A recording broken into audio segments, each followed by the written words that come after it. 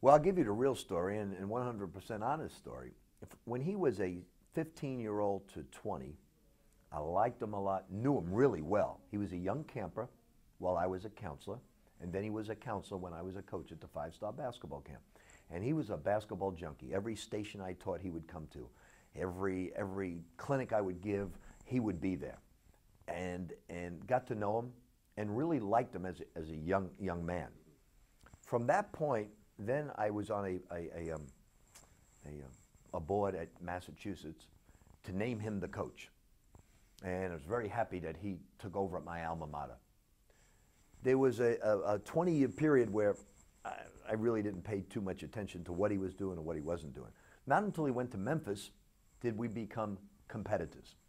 Okay, even, even though at, at Massachusetts, I was so delighted what he did. And I always say this he's one of three coaches to me that have done the most remarkable job building a program, taking it from nothing to number one in the country. Jim Calhoun at Connecticut, John Calipari in Massachusetts, and Jerry Tarkanian at Las Vegas, with basically no tradition of those schools taking them to number one.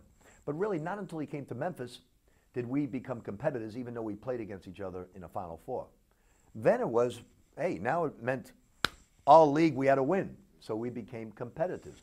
But always have liked him, always have liked him, always more important than liking him, because who am I to like anybody? Of nobody cares. Always respected him as a basketball teacher of the game.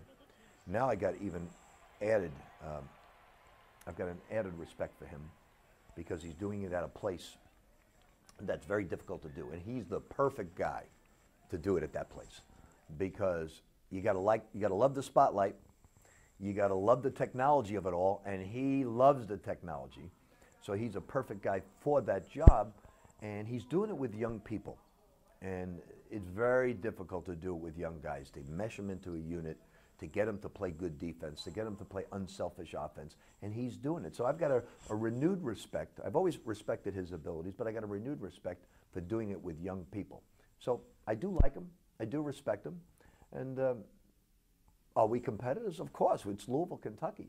No difference than North Carolina Duke. No different than the Red Sox Yankees. It's, um, we're all trying to win.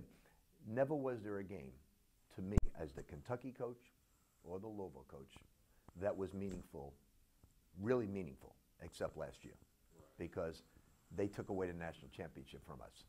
So all the other games really had no meaning. I never, I can never, except for Samaki Walker getting a triple double against us. There's not really a game that sticks out for me in all those years, except for that game, uh, because I remember so many times in the timeout. Stop driving on that guy. So it's, uh, but last year, it, it, meant an awful lot. It was the first time in, in, for me, in my personal history of coaching, where the game really meant something.